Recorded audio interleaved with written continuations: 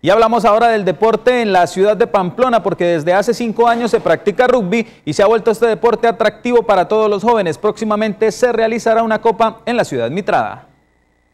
Jorge Armando Jaime se ha dedicado a incentivar en niños, adolescentes y jóvenes la práctica de este deporte grupal. En este momento los resultados que hemos obtenido con, estos niños, esta escuela de formación ha sido un ángel pues muy grande, ya que digamos eh, trabajando largamente durante tres años para que estos niños conocieran el deporte, se amañaran, eh, ir por los colegios, eh, mostrar lo que se podía lograr con este deporte. Se preparan y entrenan porque en abril en Pamplona se reunirán los mejores equipos de Norte de Santander, Santander y del Caribe. Equipos de la ciudad de Bucaramanga como Toros, de la Toros se llama el club, viene la Universidad Industrial de Santander UIS, viene el equipo de Dragones de, la UPB, viene también el equipo de Tunja, Búfalos de Tunja, eh, viene en este año pues estamos haciendo la gestión para que venga el equipo de Alcatraz de Venezuela. Para finalizar como resultado del rugby, el equipo Búfalos llevará dos de sus jugadores